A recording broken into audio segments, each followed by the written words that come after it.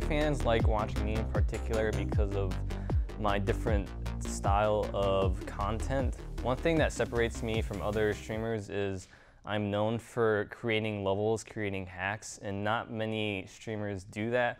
Most streamers play levels, they are known to, you know, do let's plays or watch people play video games, but early on I did content where I would go through a, process of creating levels, going through my thought process and how I would put different like items, different blocks, and why I would do those things. So it gives a different perspective on level creation and like there's a lot more behind the scenes stuff than what people think.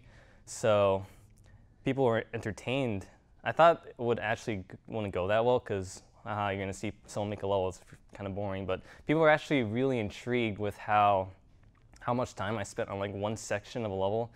Like making just one level takes probably around anywhere between like five to 10 hours, depending on how difficult and complex I want it to be.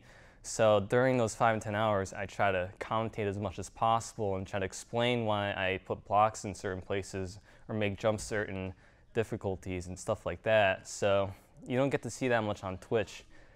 And when I play it back, when I play my own levels, I again try to kind of commentate on why this is designed this way or why I made the level feel this way as opposed to other ways. So it kind of gives a different perspective on a level designer as opposed to a level player.